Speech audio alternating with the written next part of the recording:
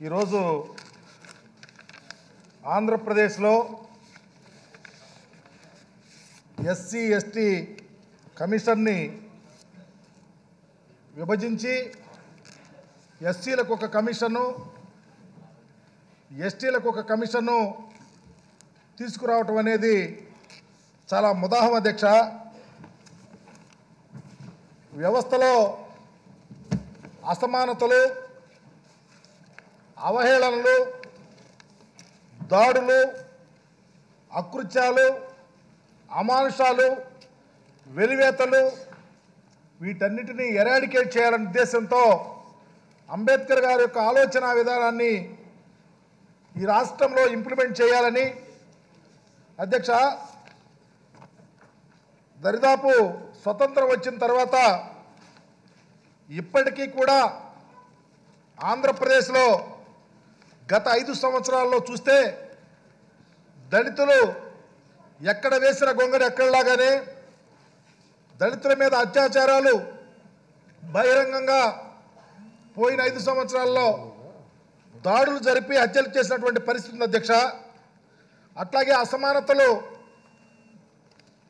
దరిదాపు అంబేద్కర్ గారి విగ్రహం పెడతారంటే గగరపర్రులో వెలివేసినటువంటి పరిస్థితి ఉంది అధ్యక్ష. అలాగే దళితులకు సంబంధించినటువంటి భూములు ఈ రాష్ట్రంలో పోయిన ఐదు సంవత్సరాలు అనేక చోట్ల భయపెట్టి లాక్కున్నటువంటి పరిస్థితి అధ్యక్ష. ఉదాహరణకు ప్రకాశం జిల్లా దేవరపల్లిలో తెలుగుదేశం పార్టీకి సంబంధించినటువంటి నాయకులు దళితుల భూములు లాక్కుంటే వైఎస్ఆర్ కాంగ్రెస్ పార్టీ అక్కడ ఉద్యమం చేయాల్సి వచ్చింది అధ్యక్ష. అలాగే అధ్యక్ష దళిత మహిళలను వ్యవస్థలు చేసి బహిరంగంగా కడుపులో తన్నేటువంటి పరిస్థితులు కూడా ఉన్నాయి అధ్యక్ష.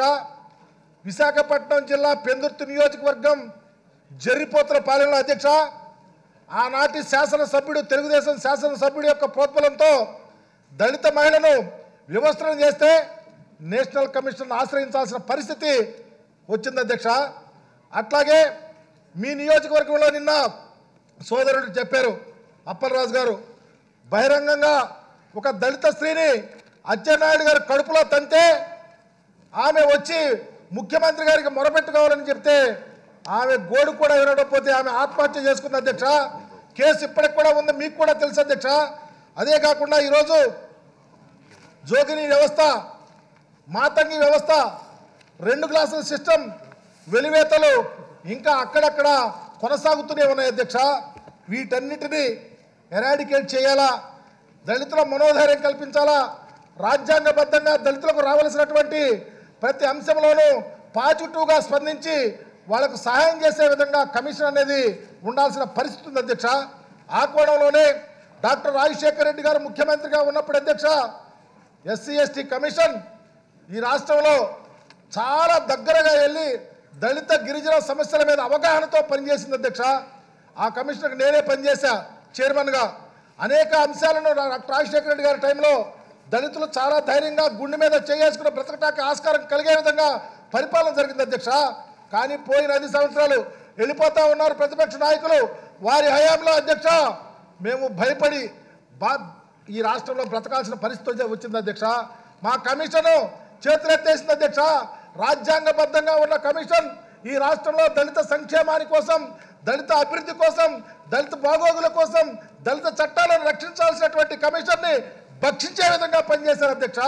అందుకనే మనసున్నటువంటి నాయకుడు ఈ రాష్ట్రంలో దళిత గిరిజన సంక్షేమం కోసం పాటుపడే నాయకుడు నవరత్నాలను తీసుకొచ్చి మన ఇంటి తలుపులు తట్టే విధంగా చూసే నాయకుడు ప్రతి కార్యక్రమం మేనిఫెస్టోలో పెట్టే ప్రతి కార్యక్రమం దళిత గిరిజనుల ఇళ్ళకొచ్చి గుండె మీద చేసుకుని హాయిగా బ్రతకడానికి ఆస్కారం కలిగే విధంగా పరిపాలన చేస్తున్నటువంటి నాయకుడు చాలా దూరదృష్టితో నేషనల్ కమిషన్లో భారతదేశంలో ఎస్సీ ఎస్టీ కమిషన్ విడివిడిగా ఉంది.